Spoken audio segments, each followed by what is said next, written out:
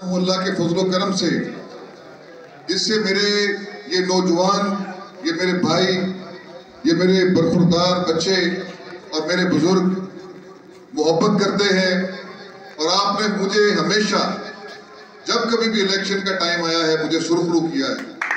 आपने हमेशा इस तरह से आप मेरे दस्तों बाजू बने हैं कि जिनका अल्फाज में अगर शुक्रिया अदा करना चाहूँ तो मेरे पास अल्फाज नहीं।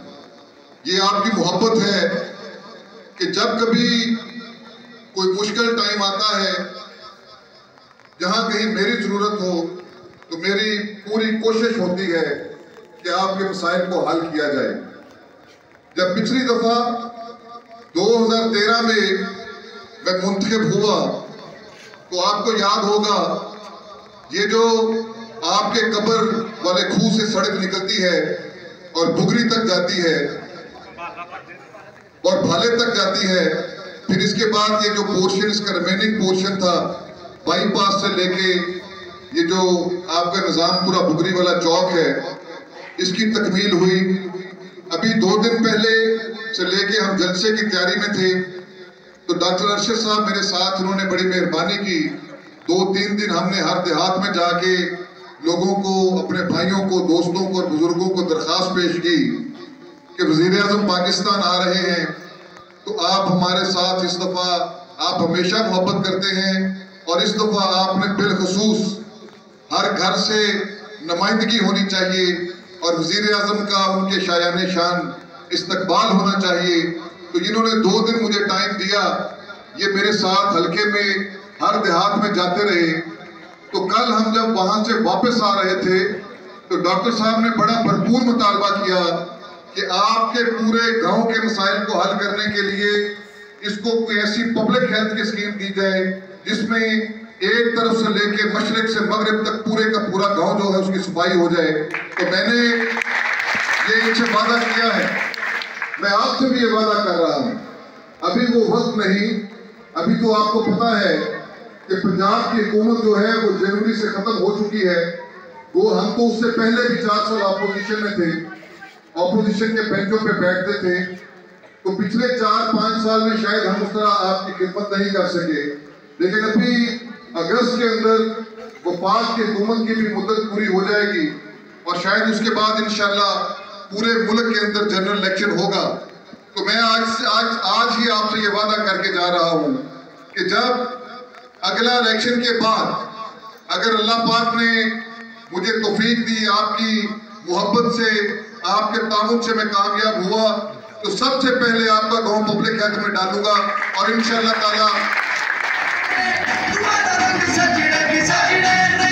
और इंशाल्लाह ताला, अगर आपके पूरे गाँव को साफ़ सुथरा करने के लिए, आपके डेवलपमेंट के सारे मसाइल को हल करने के लिए, अगर मुझे महकमे ने कहा कि 50 करोड़ रुपए चाहिए तो मैं आपको 50 करोड़ रुपए दूँगा।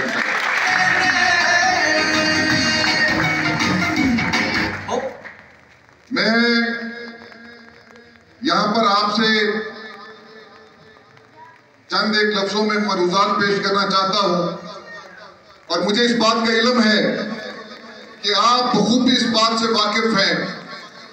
अहल निज़ामपुरा के बारे में मेरा यकीन है ये कि आप मुल्क की सियासत से भी वाकिफ हैं। आप हालात से भी आगाह हैं। आपको माजी की भी खबर है और मुस्तकबिल पर भी आप नज़र रखते हैं। और ये मकबूल सहेल साहब मेरे सामने बैठे हुए हैं। ये अक्सर कहीं ना कहीं मेरे साथ मुल्क के मुस्तकबिल पर सुई भी फंसा लेते हैं। तो इसलिए मैं ये समझता हूँ कि आपको हर बात का इलम है। लेकिन आपके इस मौसम में यहाँ आने पर आपने बड़ी दिक्कत में यहाँ पर आए हैं, तशरीफ़ लाए हैं। तो मैं सिर्फ़ आपको यादाश्त करवाना चाहता हूँ कि जब 2013 में पाकिस्तान मुस्लिम लीग नून की हुकूमत बनी, मियाँ नवाज़ शरीफ साहब मुल्क के वज़ीर अजम बने तो उससे पहले हमारा मुल्क जो है, वो एक अजीब बहरान का शिकार था। आपके मुल्क में दहशत गर्दी का राज था। ना कोई शहर महफूज था, ना कोई बाज़ार महफूज था, ना रेलवे स्टेशन महफूज थे, ना मस्जिदें महफूज थी। कराची और लाहौर जैसे बड़े शहर वहाँ पर भी बम धमाके होते थे। दहशत गर्दी का राज था। सैकड़ों की तादाद में लोग शहीद होते थे। सड़कें लहू से सुलभ हो चुकी थी और उस पे 18-18 घंटे की लोड शेडिंग जिम्मेदार अपनी फ़सलों को आबियारी के लिए परेशान था। बच्चे स्कूलों में जाने के लिए तैयारी के लिए मुश्किल का शिकार थे। अस्पतालों में जो मरीज़ थे वो भी लोड शेडिंग की वजह से परेशान थे। और लोड शेडिंग का आलम यह था कि अगर सुबह आठ बजे गई है तो रात को बारह बजे तक बंद है।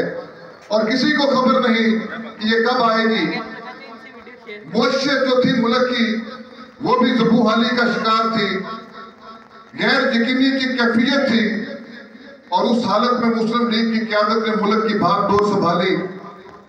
और उसके बाद